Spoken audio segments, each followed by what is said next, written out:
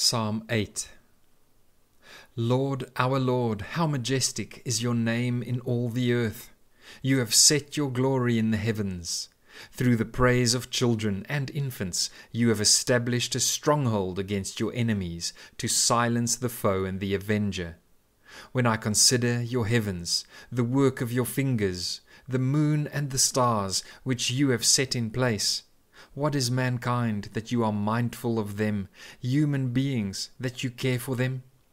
You have made them a little lower than the angels, and crowned them with glory and honor. You made them rulers over the works of your hands. You put everything under their feet, all flocks and herds, and the animals of the wild, the birds in the sky, and the fish in the sea, all that swim the paths of the seas. Lord, our Lord, how majestic is your name in all the earth!